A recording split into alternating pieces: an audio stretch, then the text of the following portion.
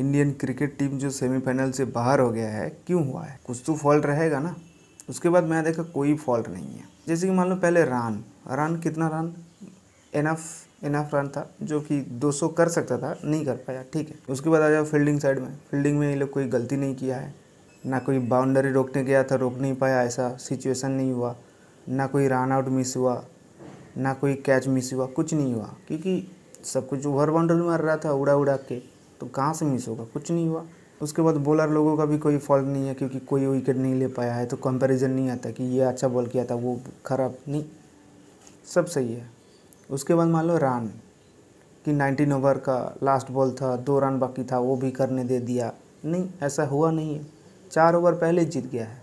मतलब हम लोग ये बोल सकते हैं कि हम लोग अगर ढाई सौ भी कर देते, तब भी इंग्लैंड मैच विनर रहता। तो हम लोगों का कोई फॉल्ट नहीं है। इंग्लैंड का फॉल्ट है वो अच्छा खेल के जीत गया है।